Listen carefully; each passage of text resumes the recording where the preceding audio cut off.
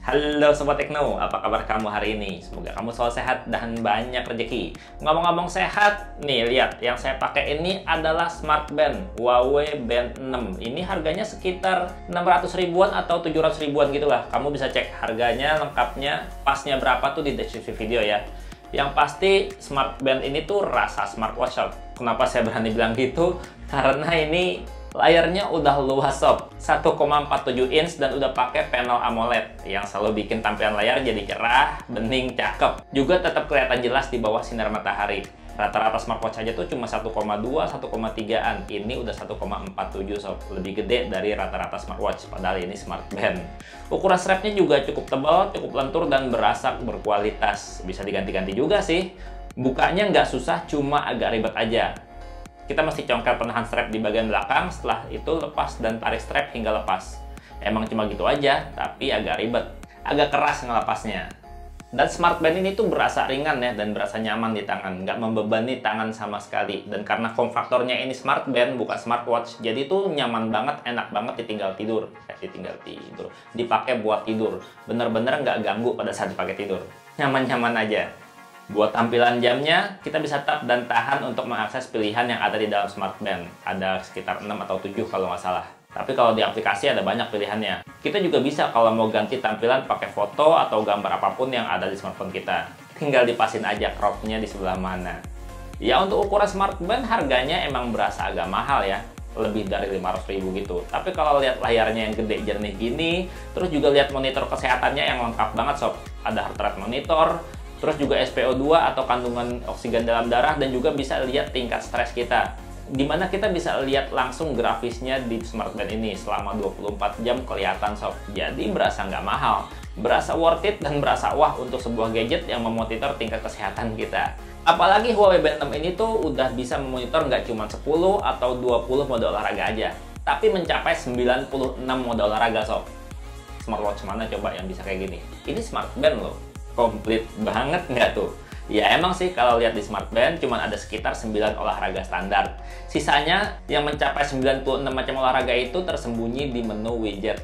Pilih plus dan kamu bisa pilih-pilih deh olahraga macam gimana yang biasanya kamu kerjain. Mulai dari olahraga kering sampai olahraga basah ada semua. Banyak banget kan? Nah, untuk ketahanan daya baterai Smart Band ini tuh bisa tahan sekitar 10 sampai 14 hari sob. Ya tergantung dari settingan kita ya mulai dari kecerahan layarnya, terus lamanya layar nyala, terus juga notifikasi aplikasi yang masuk tuh berapa banyak, dan juga pengaturan getarnya. Ya semakin parah, semakin tinggi, semakin intens ya otomatis baterainya semakin cepat habis sob. Kalau untuk pengisian daya disediain kabel charger dengan dual pin magnetik yang sayang banget nih ya, bukan kabel standar universal dual pin kayak smartwatch kebanyakan. Jadi kalau kabelnya ini rusak atau hilang, ya kita mesti ke service center untuk beli kabelnya aja. Kalau misalkan yang universal kan kita bisa beli online aja santai. Atau bisa pinjam-pinjam punya teman, kan ngecasnya nggak tiap hari. Dan ada sebuah catatan penting dari Bang Tekno buat kamu yang mau pairing Huawei Band 6 ini ke smartphone yaitu download aplikasi Huawei Health dari Huawei App Gallery ya jangan dari Google Play Store karena di Play Store aplikasi Huawei Health-nya nggak update sob jadi kamu download dulu aplikasi Huawei App Gallery kamu install di smartphone terus baru deh kamu buka aplikasi Huawei App Gallery dan kamu install Huawei Health.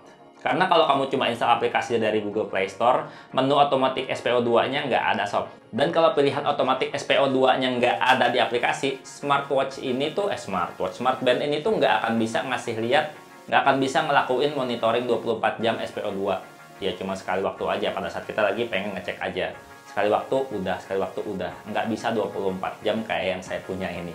Jadi download aplikasi Huawei Health-nya dari Huawei App Gallery ya jangan dari Google Play Store. Penting tuh.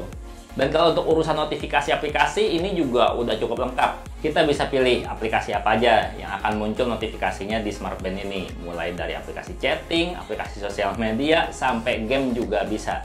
Ya cuma sayangnya kalau ada pesan dalam grup kayak WhatsApp grup misalnya, kita nggak bisa tahu siapa yang kirim pesan tersebut. Cuma bisa baca isi pesannya aja. Mesti jadi masukan untuk diperbaiki nih buat Huawei. Mungkin QC-nya kelewatan di sini ya. Semoga software update berikutnya ini udah teratasi ya. Overall kesimpulannya untuk smartband Huawei Band 6 ini tuh saya tuh suka ya sama desainnya, terus juga dipakainya nyaman, nggak di tangan.